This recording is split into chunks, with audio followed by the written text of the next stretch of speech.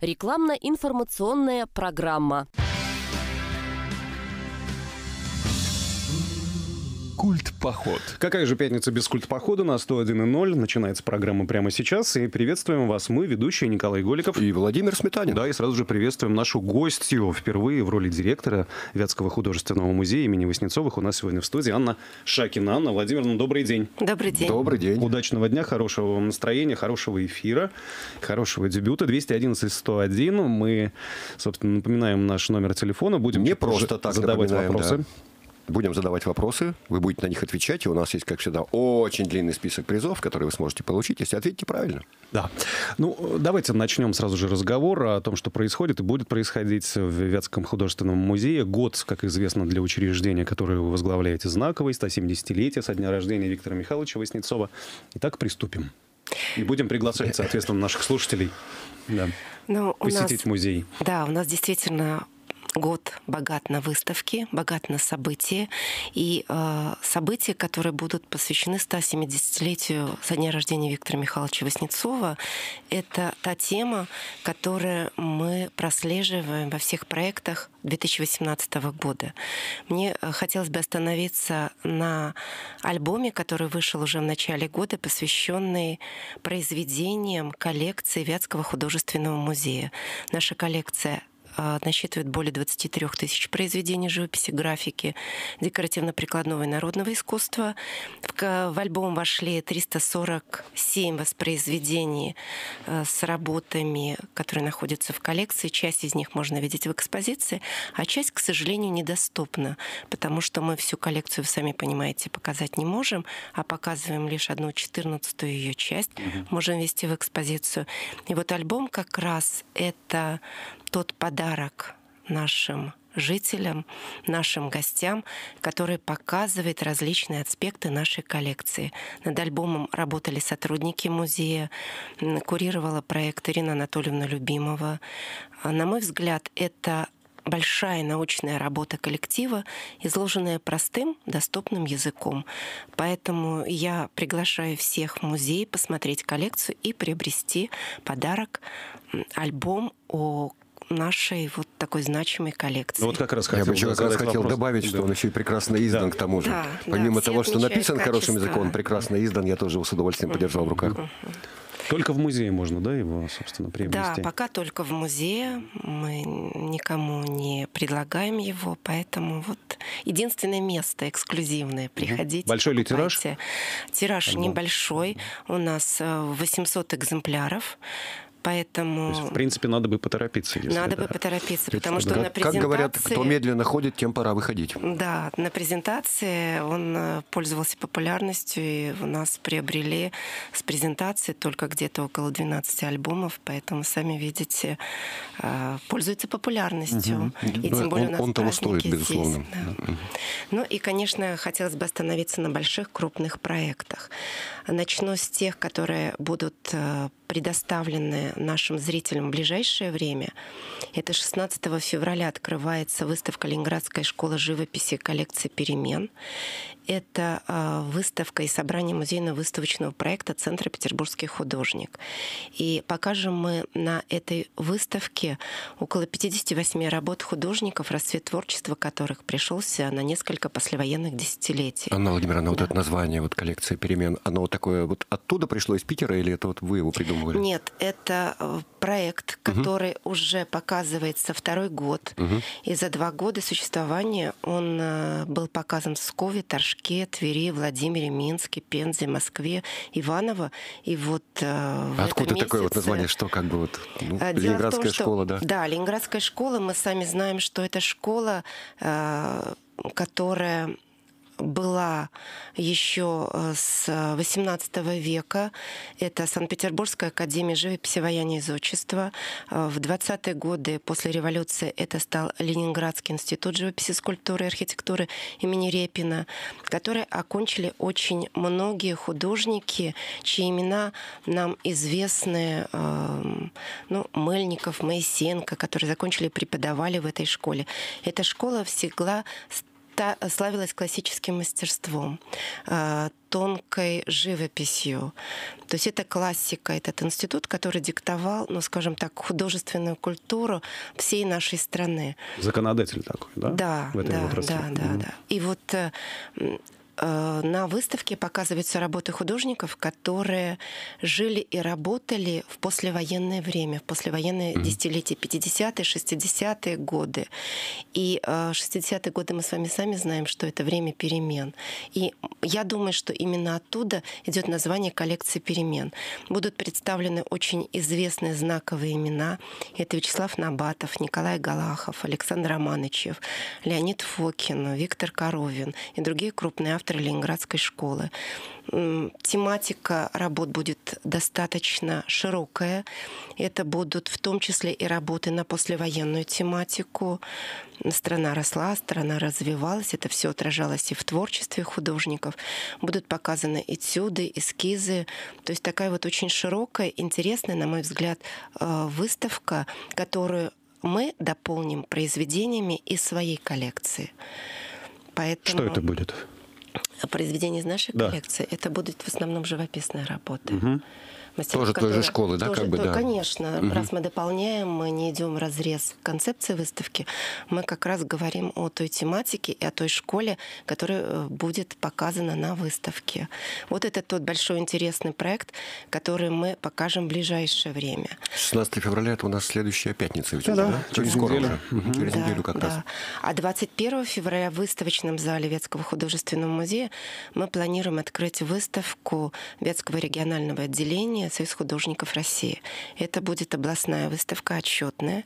Этот год, опять же, Ну, это такая знаковый. уже традиционная ежегодная выставка, да? Но она не ежегодная, Мгм. но э, она периодическая, Периодическая, скажем так. да-да-да, точнее сказать. Вот. И, но этот год, он знаковый для Союза художников, для именно нашего отделения, потому что один раз в пять лет проходит региональная выставка, зональная выставка она раньше называлась.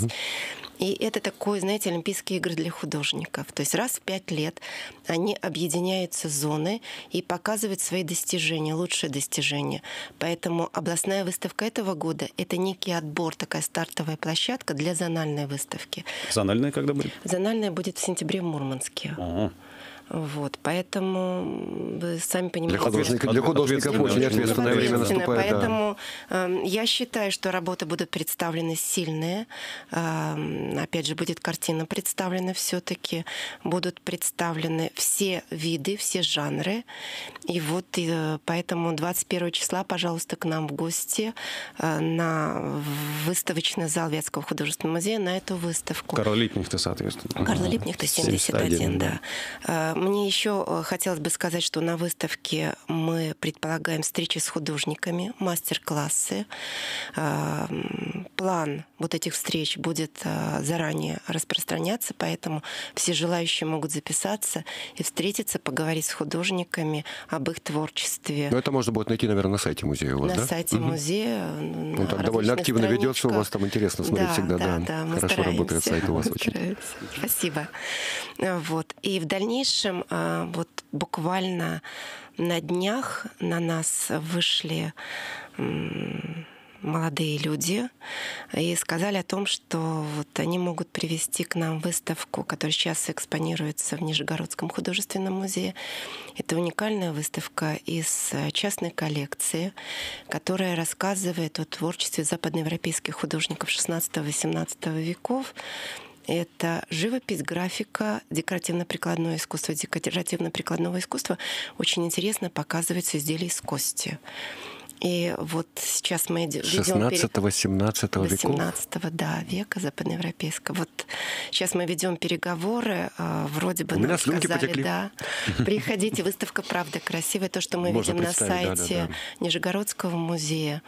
Ну, это достаточно интересно, уникально, и мы видим, что выставка пользуется спросом в Нижнем Новгороде. Я думаю, что э, у нас будет то же самое, потому что западноевропейское искусство мы не показывали уже достаточно давно. И здесь э, действительно очень высокий уровень. Хотелось бы мне остановиться еще и на тех проектах, которые будут в дальнейшем. И один из таких больших проектов, который планируется осенью, э, который мы назвали Виктор Васнецов и эпоха, в котором будут представлены произведения э, из э, коллекции нашего художественного музея. Мы планируем, что примут участие наши архивы э, в этой выставке. И, конечно же, то, что долгожданно и мы ждем, и ждут жители э, Кировской области, это произведение из Государственной Третьяковской галереи. То есть договоренность вы достигли все-таки? А, ну, насколько я знаю, там и, и, и, идут, идут пока да, еще да, там, да, вот, беседы. Да, это, да. да, ну, по крайней мере, у нас получено согласие о том, что нам предоставят произведение. Сейчас обговариваются детали транспортировки, страховки, ну и так далее, кто приедет, уже это такие вот подробные идут э, переговоры. И э, мы долго думали, какое будет, какая будет концепция выставки, все-таки решили, что художник вне времени — это не художник. Надо показывать круг его общения, его становления, его взаимодействие с различными художниками, с друзьями. Поэтому это будет такая, может быть, даже культурологическая выставка по своей концепции. Но она будет очень интересна, она будет представлена в Зале советского искусства, займет всю вот эту большую площадку. Поэтому... Мы можем сейчас уже сказать, что за работа Виктора Михайловича будет у нас здесь? Нет, я думаю, Нет. что да. Мы пока сохраним пока есть это еще. Да, в тайне, потому да, что... на всякий случай, чтобы не сглазить просто, да? Ну, действительно, есть такое, как бы, вот знаете, ну, осторожность некая пока, потому что есть там моменты сложные. Поэтому давайте подождем. Угу. Когда будет ясно уже? Э, будет ясно, я думаю, что через два месяца, когда мы договоримся о суммах страховки, uh-huh, uh-huh. перевозки. Ну, мы понимаем, да, что это довольно это, непростые да. все процессы, и там, больш, большие это, суммы и так далее. Да, да. непростой момент. Да. И, конечно же, будут продолжены традиционные проекты. Мы продолжаем сотрудничество да, с Владимир, да. Мы еще успеем об этом сказать, просто пора сделать небольшую паузу. Пауза по графику. Да, первый круг вопросов, собственно, озвучить. Так что время у нас еще будет для того, чтобы поговорить о деятельности Вятского художественного музея. Культ поход. Николай Голиков, Владимир Сметанин, наши гости Анна Шакина, директор Вятского художественного музея имени Васнецовых. Ну что, Николай, настал пора поставить в известность наших слушателей, что мы сегодня разыгрываем. Пожалуйста. Разыгрываем, как всегда, очень много различных совершенно вот э, призов, очень классных вообще, просто все хочется. Начнем с драматического театра. Значит, сегодня, 9 февраля, «Тайна ремесла». Это музыкально-поэтическое представление 12 плюс в 6 часов вечера. Завтра, 10 февраля, Зойкина квартира 16 плюс. Думаю, это про, про этот спектакль говорить никому ничего не надо. Он идет давно и с огромным огромным успехом. воскресенье 11 февраля «Все можно» или «Как прожить без взрослых». Это будет в 11 угу. часов утра. Это уже детский спектакль, соответственно, ограничение 6+. 6+. Да. Театр на Спасской у нас есть 3, 3 марта в 18.00. «Гудбай, Берлин», ограничение 16+. Что это такое? Это классическая история взросления, роуд-муви, угу. опасное путешествие, финал которого непредсказуем, потому что в конечном счете это путешествие не только по своей стране, сколько по тайным, по тайным тропам сердца, путь к себе, к настоящему и возможность себя узнать и принять и так далее, и так далее. Ну, об этом спектакле мы неоднократно говорили да? в этом эфире, так сказать, да. встречались и с режиссером, и с, а, с одним из авторов, с немцем, угу. так сказать. Помнишь, у нас приходил угу. такой немецкий товарищ, от которого мы узнали хорошее немецкое ну, слово «яйн». «Яйн». Ну, хороший, хороший товарищ. Хороший, хороший. Нам понравилось, да. Принял, да. Театр кукол. В рамках фестиваля «Семь историй о любви» мы вам, вас можем отправить 14 февраля в 6 часов вечера на загадки Турандот. У нас, как всегда, много книг. Книги от магазина «Читай город». Это «Люди мира», «Русское научное зарубежье» под редакцией Дмитрия Баюка. Очень такое классное издание, мне понравилось. Да? Угу. Такое оформление хорошее, нравится мне этот стиль. В книге исследованы судьбы более 30 российских ученых по разным причинам, выехавших за рубеж в разное время. То есть, ну, всем, кто интересуется и наукой, да вообще просто вот историей жизни вот знаменитых людей, просто прекрасный сборник таких вот вещей. Потом очень книжка с классным названием, э, просто она мне очень дорого. Брежнев. Исторически, да. «Город Брежнев». Брежнев. Да, город Мало Брежнев. кто сейчас помнит, что был такой город у нас на карте. Недолго, правда, да. Брежнев, не Брежневск. Да, а именно город Брежнев. Брежнев. Это был, сейчас набережные Челны, они были до и после Ну, вот какое-то время это был город Брежнев, и была футбольная команда Турбина Брежнев. Всех это очень веселило. Турбина Брежнев. Это Турбина Брежнев, да. Шамиль Идиатуллин. Это события книги это относится к 80-м годам, когда еще были талоны, ленинский зачет, партсобрания, были драки, беспредел насилия, но было и радостное восприятие жизни, надежда, дружба, а главное вера в то, что мы, наверное, что-нибудь придумаем. 18+. Да, Павел Басинский. В очередной раз я презентую вам эту книгу. Посмотрите на меня. Тайная история Прекрасная Лизы книга, Дьяконовой. Да. А, книга посвящена, собственно, Лизе Дьяконовой, автору знаменитого дневника русской женщины и активистки зарождающегося в России женского движения, которое погибло, к сожалению, при загадочных обстоятельствах 16+. Ну, эти книги можно купить в магазинах именно «Читай город», которая находится в торговом центре театра и в торговом центре Крым. Еще одна у нас книга, она не от этого магазина, но она по-своему уникальна. Это книга Инны Метельской, Шереметьевой и Сусанны Аникитиной Юнгблюд. Друг, друг познается в еде с автографами авторов. Да, уникальная вещь. рецепт, Да. В галерею прогресса вы тоже можете сходить. Во-первых, на фотовыставку «Материнство в дикой природе». Просто замечательно. Либо можете попасть на кинопоказ 14 февраля. Лучшие итальянские короткометражки о любви 16+. это программа, уникальное да, мероприятие. Программа это Да. семь самых ярких итальянских коротких мелодрам и комедий, победители разных итальянских кинофестивалей. Короче, очень интересная программа. Я думаю, посмотреть обязательно стоит. Продолжается наш совместный проект с кинотеатром «Колизей». Называется это все «Артзал», где в рамках которого мы собираемся на закрытые предпоказы фильмов не блокбастеров, Не а блокбастеров, авторского да, кино. не ужастиков, такие Да. авторские фильмы, фестивальные фильмы. В этот раз у нас будет один из претендентов на главное Оскар, Ну да. то есть лучшей актрисе и за лучший фильм. Это фильм «Секретное досье». Снял его С Мэрил Стрип и да, с Мэрил Стрип и Том Хэнкс. Том- Томом Хэнксом, 16 да. февраля все в 19.00 это будет просмотр. Мы можем, так сказать... Собираем мы вас, да, компанию из 40 человек, вот вы можете влиться. 41 точнее, 41 человек, там да. 41 кресло в этом Да. зале уютном. Так, дальше призы от нашей гости Анны Шакиной, от Вятского художественного музея. Вы можете попасть на выставку Виктор Васнецов в Абрамцеве, 0+. На выставку «Каменная сказка» вы можете попасть тоже в этом музее. Также мы разыгрываем еще пригласительные, у нас остались с дневного разворота, конференция для тех, кому, э, кто неравнодушен к облику нашего города, к его, Архитекту- к его облику, архитектуре, скажем так, да, да. К тенденциям в этом отношении. Вы можете вот пойти на эту выставку 15 февраля. Она будет в четверг, на следующей неделе. Называется это все «Эволюция блокчейна в девелопменте, развитие архитектуры и инвестиционной привлекательности Кировской области». Фу, можно Вот выдохнуть. такой вот, да, список. Анна Владимировна, вам задавать вопрос нашим слушателям. 211-101, напоминаю. Первый вопрос, он достаточно простой. Имена каких русских художников носит Вятский художественный музей? И почему? О, я не ожидал такого простого вопроса. да. Понимаешь, в этом простом Да. вопросе есть подвохчик. А почему? почему? А вот так вот.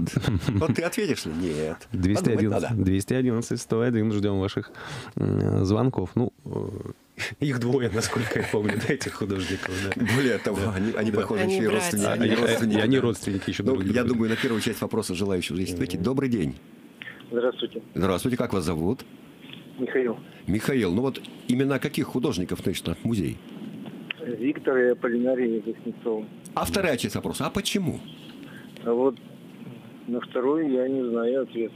Ну, давайте вместе подумаем, может быть, придет какая-то такая здравая мысль. Вот почему вы думаете? Может быть, они да. непосредственные отношения имеют к Вятской земле? Ну, я... Нет, непосредственно отношение к Вятской земле имеют, да, конечно, они родились в поселок Рябово. Ну, нет, один-то все-таки в Рябово, а другой, который старше, он в другом населенном пункте родился. Ну, по крайней мере, как бы вы полагаете, что музей называется так, потому что это наши земляки, да? Я правильно вас понял? Да, да, правильно. Анна Владимировна, устроит ли вас такой ответ? А Скажите, пожалуйста, ну, вы правильно ответили на первую часть. Виктора Полинария Васнецовы, они наши художники-земляки. А вот на такой наводящий вопрос. А что они сделали для нашего музея? Что они такого сделали для музея? Почему музей носит именно их имя? Тут, наверное, надо напомнить, что музею это уже очень много лет. Да, он был Да. основан в 1910 году. Ну, я думаю, что, наверное, тогда они, может, выставляли свои произведения. Хорошо. Как художники земли, как земляки, как патриоты своей родины, как вы думали, вот, вот что они сделали для музея, кроме того, что они выставляли произведения? Действительно, они выставляли свои произведения? Наверное, в их произведениях была отражена природа вот нашего Вятского края. Может быть так? Это, конечно, тоже. Ну, ладно, я думаю, мы зачтем ответ как правильный, да, безусловно. Как правильный, но это еще и основатели музея. Вот. Это одни из основателей музея, да. да. Там была создана группа, собственно, Да, художников. Вятский художественный кружок Да, работал. Да, да, да. и Но, ходили тем не менее, ответ признан правильным. Давайте выбирать приз. Приз э, э, кино нет, да? Да, есть. Кино есть Закрытый в Колизее показ. с 16 февраля «Секретное досье». Михаил, не задерживайтесь. Да. Пойдё- Да, хорошо. Пойдете, все, не кладите, пожалуйста, трубку. Наш редактор вам объяснит, Как этот что, приз получить, Что, да. собственно, нужно сделать для того, чтобы попасть на этот закрытый показ секретного досье. Далее движемся. Николай, Я? да. Но у меня, видишь, получилось так, что мой листочек с вопросами пропал, придется вспоминать. Я-то, как всегда, исхожу из того, что сегодня 9 февраля, да? Ну, сегодня, во-первых, Всемирный день стоматолога. Такой классный праздник, да? Сегодня в России празднуют День гражданской авиации, да? В культурной жизни я посмотрел, оказывается, сегодня день рождения стриптиза. Есть такой вид, скажем так, Искусство. искусства, да, в том числе. Но вот нам наткнулся на другую дату, может быть, не такую веселую, но, тем не менее, это было давно, 9 февраля 81 года ушел из жизни Билл Хейли. Это один из самых, так сказать, первых исполнителей музыки, которую я люблю, то есть рок-н-ролла. И поэтому сегодня будет звучать немножко мелодии Билла Хейли, которая в том числе он сам сочинял. И мои вопросы будут посвящены ему. Первый вопрос, вот первый фрагмент попрошу Дениса включить.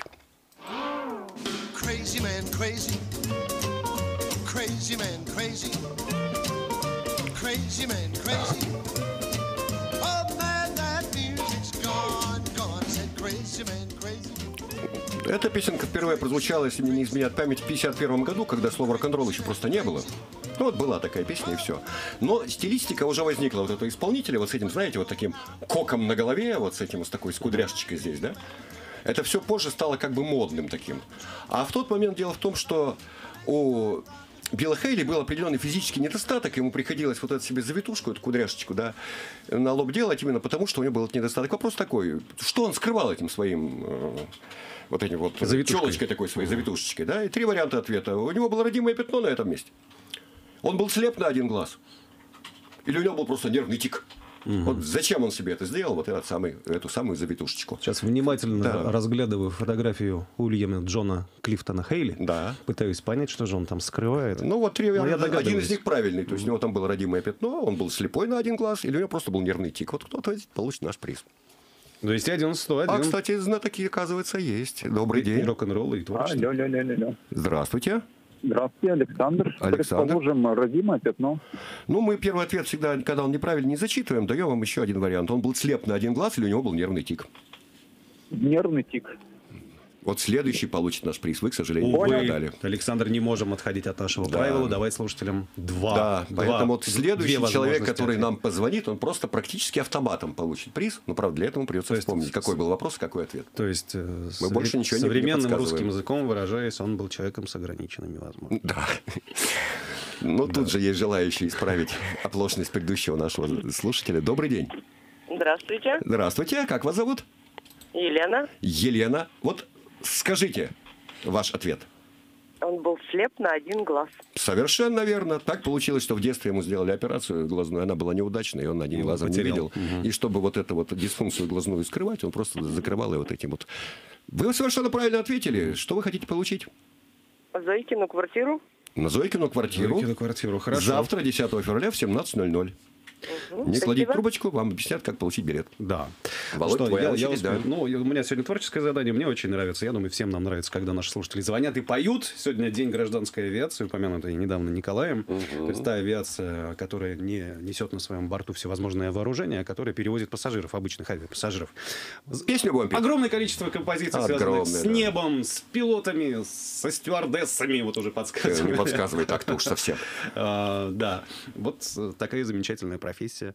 Дозвонитесь и исполните нам отрывочек, припев, куплет. 211, 101. Кстати, как раз, да, стюардесса, она южная, как весь гражданский Да, флот. да, да, да. Огромное количество композиций, огромное количество авторов, композиторов и э, поэтов-песенников посвятили свои произведения именно этой теме. Ну что, давайте петь, как вас зовут?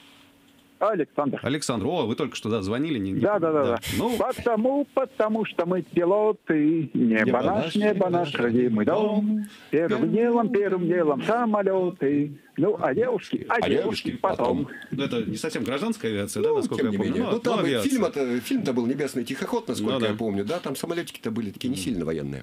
Ну, Александр, давайте, теперь у вас уже законная возможность есть выбрать.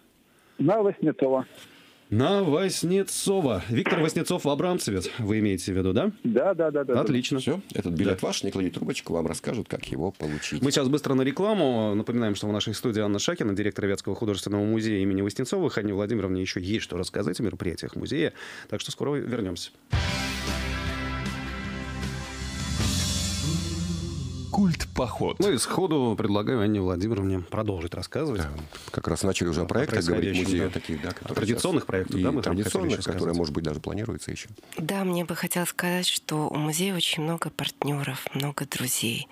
И это, безусловно, достигается работой сотрудников и коллекции. Коллекция очень востребована на различных выставках. Вот сейчас была фондовая закупочная комиссия, и мы рассматривали, рассматривали выдачу произведения Сурикова этюд к картине «Боярыня Морозова» на выставку, которая планируется в Ватикане в 2019 году под патронажем президента.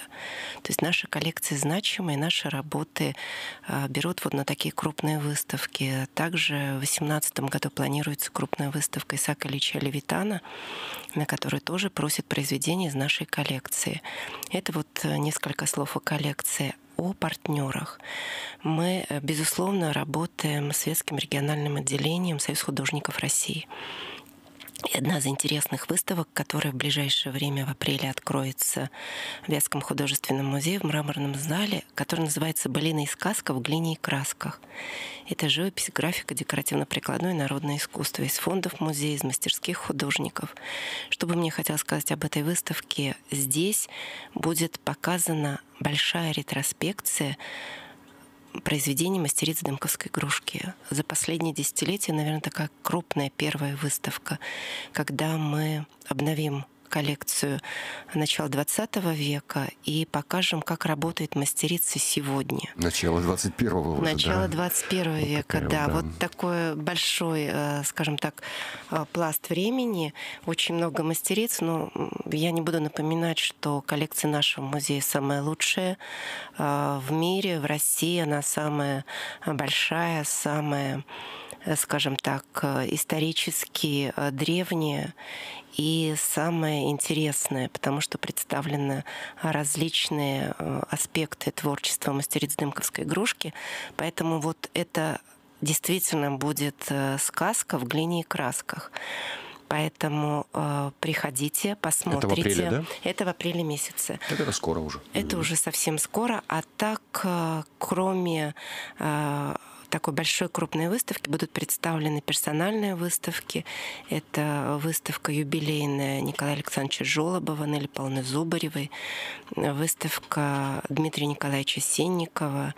Ну и планируется в конце года персональная выставка заслуженного художника Российской Федерации, это Владимира Евгеньевича Мулина.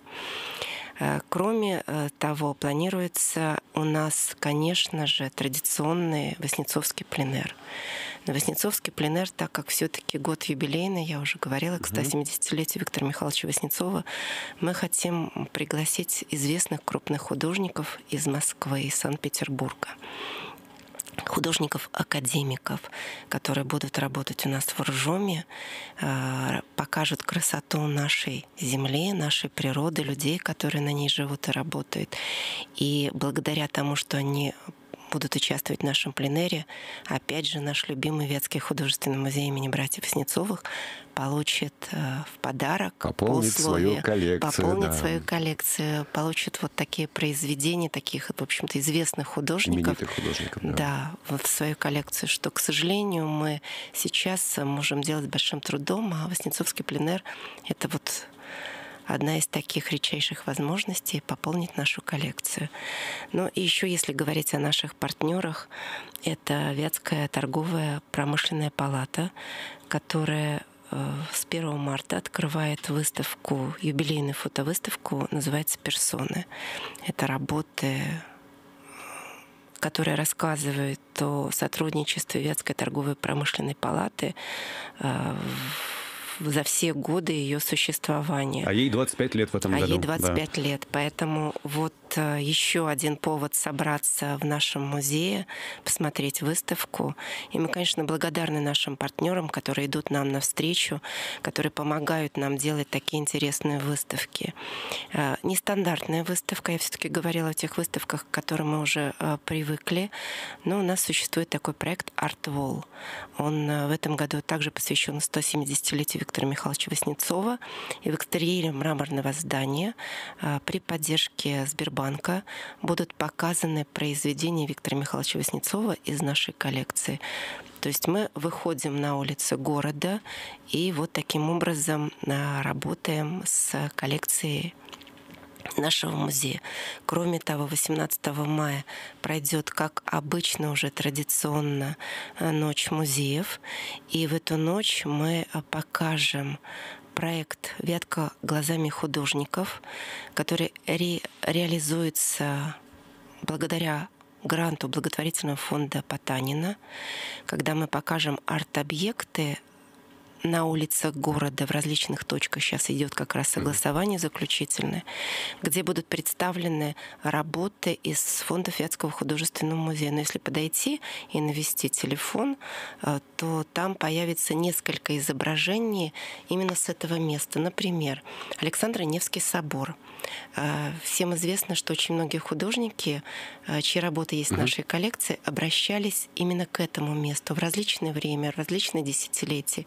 И вот такая вот ретроспекция этих художников будет э, показана на этом арт-объекте. То есть можно подойти вот к тому месту, где он был, навести... Да, То есть к филармонии. Да. Э, Но мы планируем, что это все-таки да, где-то будет на месте филармонии. А Также мы покажем Трифонов монастырь, ансамбль Трифонова монастыря.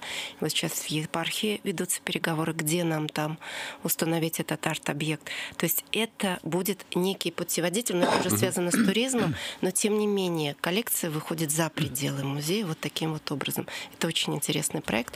18 мая мы его покажем, я надеюсь, в полном объеме. Но я думаю, что ближе к этой дате мы еще раз Мы, это мы с вами еще поговорим более раз. подробно, да, собственно, об Тем этом. более, Давайте, давайте продолжим играть. Следующий планов, да. вопрос нашим слушателям а от вас, Анна Владимировна. Где родился Виктор Михайлович Васнецов? То есть населенный пункт назвать? Да. Или будет достаточно Вятская губерния? Нет, надо бы уточнить. Ты Вятская что, хотел губерния сам приз получить? Хорошо, 211 101, но сегодня не, не- не слишком сложные. Ну, простые даже вопросы сегодня, да. вопросы. Ну, как да. видишь, даже в самых простых вопросах всегда есть Ну, чуть-чуть. Мы с Виктором Михайловичем земляки. Под- Подскажу. Ну, конечно, сразу после этого люди стали звонить. Конечно, все знают, где родился ты, да? Алло, добрый день, как вас зовут? Добрый день, Да, как зовут? Как вас зовут? э, Константин. А, да. Ну, ваш ответ, где родился Виктор Михайлович? Село- Лапьял, Да, Уржумского Уржумск- уезда, уезда, Уржумского района. губернии, Да, это правильный Да, ответ. да. А, Пожалуйста, выбирайте приз. галерея прогресса. Галерея Выставка. «Прогресс». А, выстав- Выставка материнства Выставка. в дикой природе, да? Выставка, да? Да-да. Мгм. Отлично, не кладите, пожалуйста, трубку. Следующий вопрос готов Да, задать нам надо же. еще напомнить. Ах, да. Михаил, который звонил в первой нашей половинке передачи и, побе- и победил, задал вопрос, э, ответил, дал правильный ответ, победил. Позвоните, пожалуйста, нам еще раз, потому что вы как-то вот э, насчет... Но, но чуть-чуть повремените со своим звон- звонком. Через пять минут Ну после да, того, как мы ну, завершим. не забудьте просто Да. связаться с нашей, с нашей радиостанцией, чтобы Да. понять, как вы получите свой приз, потому что иначе вы его как бы еще пока не получите. А приз закрытый показ секретного Да, напоминаю. да, да. Итак, Вот. Э, Мой вопрос снова музыкальный, снова про того же Билла Хейли, и снова попрошу маленький фрагментик включить.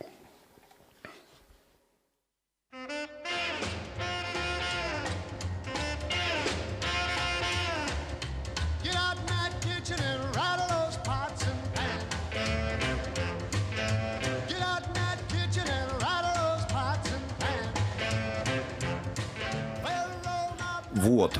Билл Хейли выступал с группой. У этой группы было очень много разных названий. Как только она не называлась, пока один из менеджеров не заметил, да, такую интересную штучку и дал название Билл Хейли и кометы. Так вот, вопрос такой. Что именно заметил этот менеджер? Первый вопрос, что фамилия Хейли совпадает с фамилией знаменитого астронома.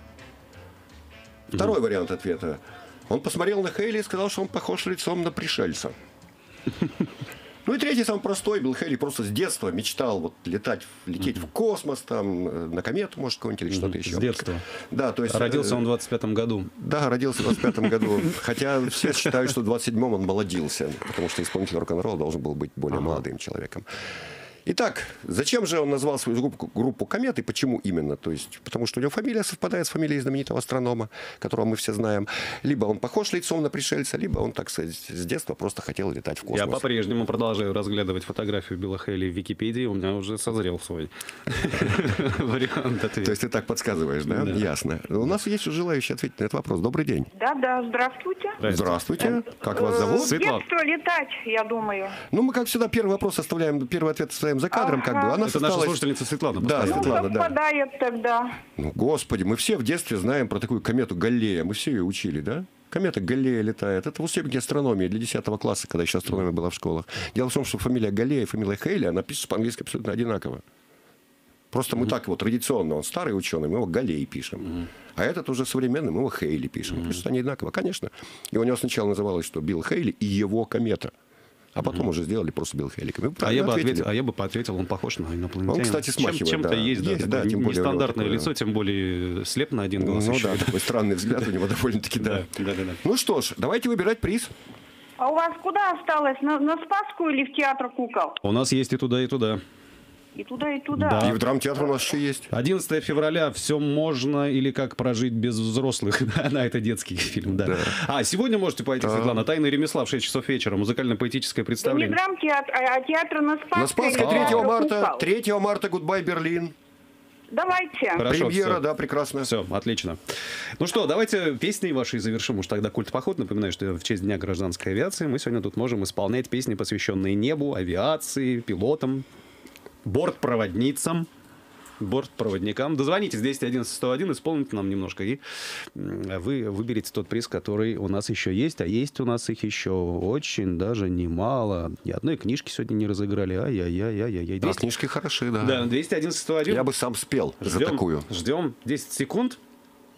Возьмите, э, воспользуйтесь, вернее, такой возможностью э, исполнить на весь город на волнах нашей радиостанции и выбрать тот приз, который вам больше всего нравится. И мы вам в придачу можем, кстати, еще и второй приз дать. Сейчас у меня мысль родилась, потому что их у нас еще много не разыгранных-то. А, Николай? В общем, старайтесь, Не против? пойте. Сейчас Нет, за- совершенно два, нет. Два приза за творческий Давайте, номер да. сейчас у нас будет. Вот, Алло. слушай, сразу звонят. Да, как вас зовут и сразу песня. Добрый день, меня зовут Олег. Олег, да, да, давайте. Это ваше не первое уже выступление, да? Под крылом самолета о чем-то поет зеленое море тайги. А давайте еще одну, и тогда законно получите призы. Стюардесса. Стюардесса по имени Жанна, обожаема и желанна. Ангел мой неземной, и повсюду со мной стюардесса по имени Жанна. Все, все, теперь у вас полное законное право два приза у нас забрать. Что хотите?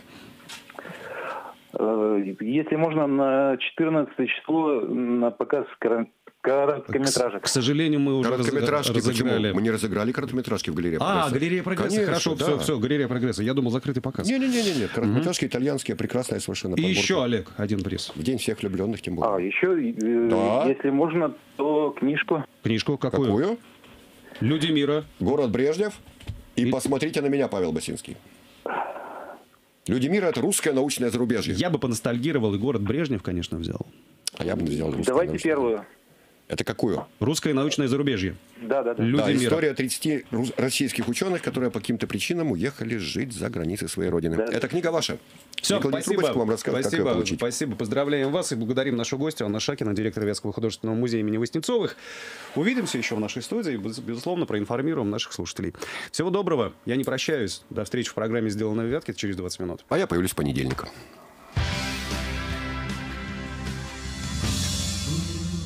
Культ поход.